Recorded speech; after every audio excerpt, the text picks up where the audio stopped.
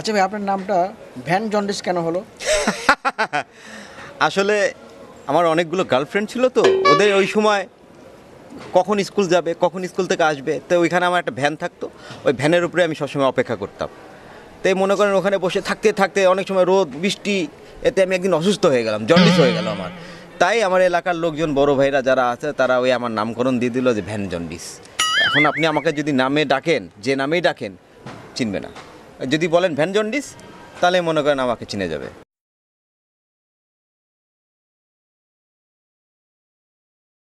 আজকে আমরা আড্ডা দেব ভ্যান জন্ডিসের সাথে।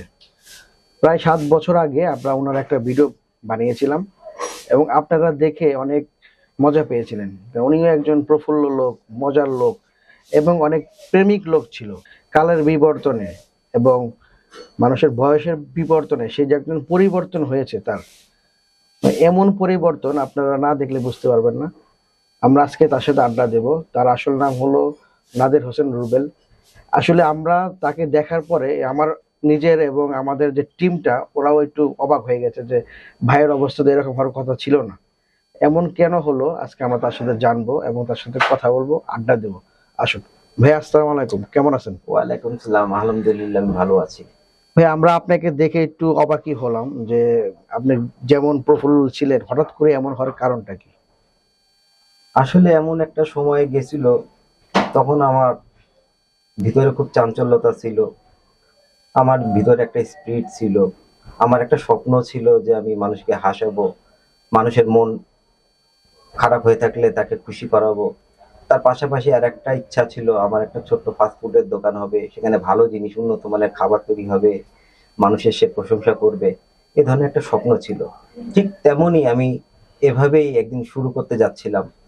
আমি একটা ফাস্টফুড করব কফি বেচবো, ভালো ভালো লোকরা আসবে আমার কাছে, মজা করবে, আনন্দ করবে। যখন আমি পুরা প্রস্তুতি নিলাম, ঠিক যেদিন আমি উদ্বোধন করব, সেদিন আমার জীবন একটা বড় ধরনের দুর্ঘটনা ঘটে যায়। আমি করে ফেললাম ব্রেন স্ট্রোক যেদিন আমি শুরু করার টেবিল চেয়ার কাপ ফ্রিজ সব কিছু আমি কমপ্লিট করে উদ্বোধন করব, ঠিক সেই মুহূর্তে আমার ব্রেন স্ট্রোক হয়ে যায় এবং একেবারে পরপর দুবার ব্রেন স্ট্রোক করে ফেলি। আমার জীবন আকাশ থেকে মনে মনে হলো যে আমি নিচে পড়ে গেলাম। আমি অন্ধ হয়ে গেলাম। আমার দুটো পা অবশ হয়ে গেল। তারপরে আস্তে আস্তে কিছুটা স্বাভাবিকের মধ্যে আসছে। তবে আমার এই অসুখটা হলো তো না, আমার জীবনটাই ধ্বংস হয়ে গেল। সবকিছু স্বপ্নের মতো স্বপ্নই রয়ে গেল, আর বাস্তবে আর হলো না। ফাস্টফুডের দোকানগুলো আবার যেভাবে সাজিয়েছিলাম, সেগুলো আস্তে আস্তে বিক্রি করতে করতে একদম নিঃস্ব হয়ে গেলাম। আমার কত ভালো ভালো বন্ধু বান্ধব ছিল আত্মীয় স্বজন ছিল, সবাই আস্তে আস্তে আমার থেকে সবাই দূরে সরে গেল। এক কথায় সবাই আমাকে ভুলে যেতে লাগল। তারপর আর কি করব? নিয়তির যে প্রয়াস, কিছু করার নেই, বাস্তবটাকে আমি মেনে নিলাম। আর খুব কষ্টে জীবনযাপন করলাম। হাসপাতাল থেকে আসার পরে আমি তো অন্ধ ছিলাম। আস্তে আস্তে কোনো রকম ঝাপসা ঝাপসা দেখি। এখনও তাই, সেই অবস্থা। যেভাবে আমার দিন চলছিল, যেভাবে স্বপ্ন করেছিলাম, সেটা আর কোনোদিনও হবে না। আমার বন্ধু বান্ধবরাও আর কেউ আমার কাছে আসে না। আত্মীয় স্বজনরাও আমার থেকে দূরে সরে গেল। একসময় সবই ছিল, এখন কিছুই নাই। সবাই আমাকে দেখে ভয় পায়, যদি আমি কারোর থেকে টাকা ধার চাই। এই ভয় আমার কাছে কেউ আর আসে না। কেউ আমাকে আর আমার সঙ্গ দেয় না। আমার সাথে কেউ বসে বলে না যে, দোস্ত, এক কাপ চা খাব, বানা। টাকা আর চিন্তা করিস নি, আমরা দেবো। কেউ আসেই না আমার কাছে। আমি, আমার জীবনটা সম্পূর্ণ একা হয়ে গেল। আসলে এমনই মনে হয় হয়, বেঁচে থাকা আর মরে যাওয়ার মাঝখানে জীবনটা খুব কষ্টেরই হয়। হয়তো আমার হয়েছে। হয়তো অন্য কারও হয়নি, কিন্তু এটা খুব কষ্টকর আমার জন্য। প্রত্যেকটা মানুষই স্বপ্ন দেখে, আমিও দেখেছিলাম, হয়তো আমার সেটাই দেখাটাই ভুল হয়ে গেছিল। যাই হোক, আমি কোনো রকম জীবন যাপন করতেছি, আমার জীবনে আর সামনে কোনো আশা নাই, আর স্বপ্নও দেখব না। এখন কোনো রকম ওষুধ খেয়ে বেঁচে থাকাটাই আমার জন্য খুব কষ্টকর। এটাই আমি মঙ্গলও মনে করি, এই আর কি বলব। ভাই, আপনি এখন কীভাবে চলছেন? এখন আমি কোনো রকম কটা কাপ কিনে একটা ফ্লাক্স কিনে কোনো রকম চা বিক্রি করতেছি। কিছু কিছু লোক আসে খায়। এইভাবে জীবনযাপন করতেছি। ওষুধ আমি ঠিক মতো খেতে পারি না। হয়তো কন্টিনিউয়াস কোনো ওষুধ ঠিকভাবে কোনো দিনও খাওয়া হয় না। একটা বাদ থেকেই যায় দুইটা বাদ থেকে যায়। এভাবে আমি চলতেছি। আপনার ফ্যামিলিতে কে কে আছে এখন? আমার বয়স্ক মা আছে। আমার স্ত্রী আছে আবার আমার একটা সন্তান ছেলে আছে। ওনারা কি করছে ওরা আমার ছেলেটার পড়ালেখা খুব ভালো লেখাপড়া করে খুব ভালো মেয়েটাও খুব ভালো পড়ালেখায়। ওরা নিজেরা আমার মেয়েটা ক্লাস নাইনে পড়ে। ও এইটুক বয়সে একটা টিউশনি করে বাসায় এসে পড়ে কিছু পায় ওখান থেকে ওর পড়া খরচটা ওখান থেকে উঠাচ্ছে। ভবিষ্যতে পারবে কিনা আমি জানি না। আচ্ছা ভাইয়া ওই আপনি আগে যখন মানে দুষ্টামি করতেন ভ্যান ভ্যানে বসে মজা করতেন যে মেয়েদের সাথে ডেটিং করতেন তারা আপনার যে দুঃসময় এই সময়টা আপনাদের সাথে তার আপনার আপনার সাথে তারা কোনো যোগাযোগ করেনি? না আমার সাথে আর কেউ যোগাযোগ করেনি। যারাই আমার এই সংবাদটা শুনেছে তারাই আমার থেকে অনেক দূরে সরে গেছে। মানে আপনার যখন বিপদে ছিলেন তখন আপনার পাশে কেউ আসেনি? না আমার কেউ আশেপাশে আমার আশেপাশে আর কেউই নাই আমাকে দেখার মতো। কিন্তু যখন আপনি ভাইয়া ওনাদের নিয়ে ঘুরছেন টাকা খরচ করছেন মানে জিনিসপত্র কিনে দিয়েছেন তখন কিন্তু আপনার সাথে ছিল। হ্যাঁ আমার সাথে সবাই ছিল আমার কোনো কিছুর অভাব ছিল না। আমার বন্ধু বান্ধব শুভাকা- শুভাকাঙ্ক্ষী সবাই আমার কাছে ছিল আমার পাশে ছিল। কিন্তু আজ আমার পাশে কেউ নাই। আমার মতো জীবন জানি আর কারও না হয়। ঈশ্বর ঈশ্বরের কাছে দোয়া করি কষ্টটা জানি সব কষ্ট জানি আমাকেই দিয়ে শেষ করে দেয় আর জানি কারও জীবনে না আসে। আচ্ছা আপনি ভাইয়া যাদের ভালোবাসতেন এর মধ্যে তো আপনি একজনকে ভালো মতো মন থেকে ভালোবাসছিলেন। আপনি কি তাকে বিয়ে করতে পারছিলেন? না আমি সারাটা জীবন ত্যাগই করে গেলাম। আমার কোনো কিছুই আশা হয়নি পূরণ হয়নি। যতটুকু স্বপ্ন দেখেছিলাম সেটাও ভেঙে চুরমার হয়ে গেল। আচ্ছা ভাই আমরা যেটুকু আপনার মানে কথা বললেন আমরা বুঝতে বুঝলাম যে এখানে কি বোঝা যাচ্ছে? যে মেয়েরা বেশিরভাগই টাকা ছাড়া কিছু বোঝে না এমন কিছু? আসলে পৃথিবীটা খুব বিচিত্রময়। আমি এভাবে এভাবে জোর দিয়ে বলতেও পারব না সবাই এক হয় না। তবে হয়তো এরকমই হয় বেশিরভাগই হয়। কেউ কেউ অন্য এর ব্যতিক্রমও হয় অন্যরকম অন্য মানুষ মন মানসিকতার হয়। যে বর্তমান জেনারেশন এরা প্রায় দেখি যে মেয়েদের সাথে আড্ডা দেয় মেয়েদের অনেক দামি দামি গিফট দেয়। এদের উদ্দেশ্যে আপনার একটা মেসেজ যদি দিতেন আপনি। এটা একটা মরিচিকা এমন একটা সময় থাকে তখন মানুষের জ্ঞান বুদ্ধি খুবই কম থাকে আমি মনে করি। প্রত্যেকেরই ভাবা উচিত যে এই সময়টা দীর্ঘকাল অতিবাহিত হবে না, বিপর্যয় আসতে পারে, সবাইকে এভাবে মেনে চলতে হবে। আসলে পৃথিবীটাই সাকসেসের পিছে দৌড়ায়। সবাই সাকসেসের পিছে দৌড়ায়, ব্যর্থের পিছে ব্যর্থ যারা হয়ে যায় তাদের পিছে কেউ থাকে না। সুতরাং আমার আমার জীবনের অভিজ্ঞতা থেকে আমি সবাইকে বলতেছি, যারা আমার ভালো, ভাই, বোন যারা আছেন, সবাইকে বলতেছি আত্মীয় স্বজন সবাইকে বলতেছি যে ক্যারিয়ার তৈরি করতে হবে, লেখাপড়া করতে হবে, জ্ঞান অর্জন করতে হবে।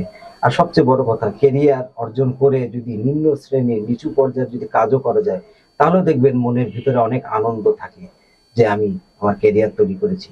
টাকা, পয়সা, অর্থ সম্পদ আল্লাহ তালা সবাইকে সমান দেয় না। তারপরেও মনের মধ্যে একটা সান্ত্বনা যে আমি ক্যারিয়ার অর্জন করেছি। মূল্যায়ন একদিন একদিন আপনি হবেনই। এটা আপনার মনের ভিতরে দৃঢ় বিশ্বাস রাখতে হবে। ভাই আপনার পড়াশোনা কত দূর? আমি আয় পাশ করেছি তারপর আর পড়তে পারিনি। আপনার স্কুল কোনটা ছিল? আমি সেন্ট গ্রেগরি হাই স্কুলে লেখাপড়া করেছিলাম। আমার কলেজ?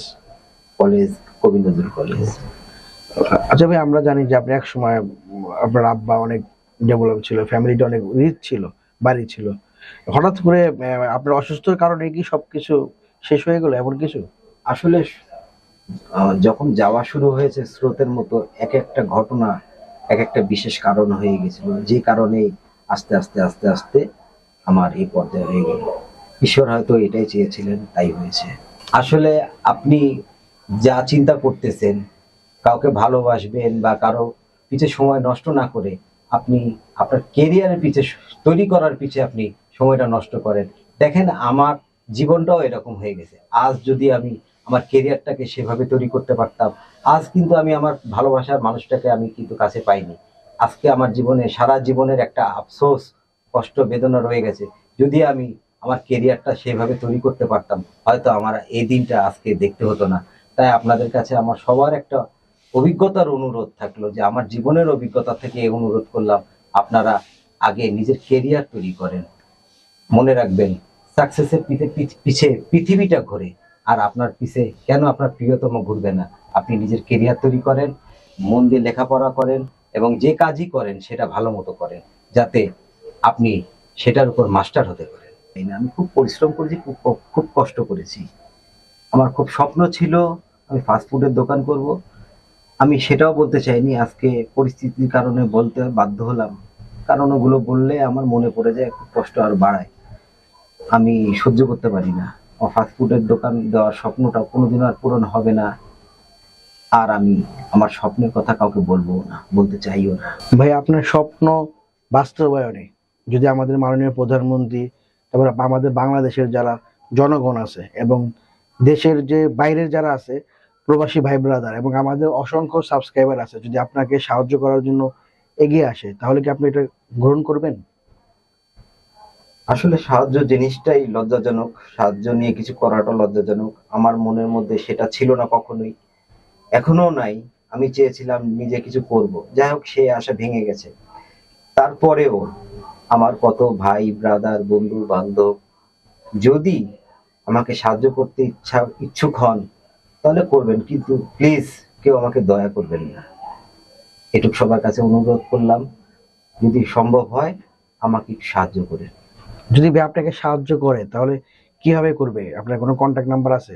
হ্যাঁ আমার একটা কন্ট্যাক্ট নাম্বার আছে zero one seven double two zero three one two seven five এই নাম্বারটা আরেকবার বলেন। Zero one seven double two zero three one two seven five নাম্বারটাকে আপনি ব্যবহার করেন? আমি ব্যবহার করি। এবং ফোন করলে আপনাকেই পাবে। হ্যাঁ আমাকেই পাবেন নাম্বারটাকে বিকাশ করা আছে? হ্যাঁ বিকাশ করা আছে। আপনারা তো ভিডিওটা দেখলেন এবং আগের ভিডিওটা আপনারা দেখেছেন। ওনার যে একটা পরিবর্তন, বিশাল একটা পরিবর্তন। কারণ আমরা চাচ্ছি আমাদের সাবস্ক্রাইবার আছে, মাননীয় প্রধানমন্ত্রী আছে এবং দেশে এবং দেশের বাইরে যারা ভাই ব্রাদার আছেন আমাদের, প্রবাসীরা আছেন, আপনারা এর আগেও আমাদের অনেক মানুষকে সাহায্য করেছেন। একজন চালাকে দিয়েছেন, একজন অপারেশন করতে পারে না, তাকে আপনি দিয়েছেন, আপনারা দিয়েছেন এবং একজন বাসিওয়ালাকে আপনারা এক লাখ টাকা দিয়েছেন। মাননীয় প্রধানমন্ত্রীর মাধ্যমে তারা পেয়েছে।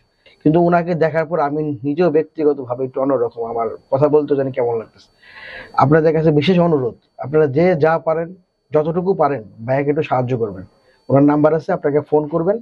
ফোন করে কথা বলে যতটুকু পারেন সাহায্য করবেন। আপনাদের কাছে এটুকু অনুরোধ। আপনারা সবাই ভালো থাকবেন।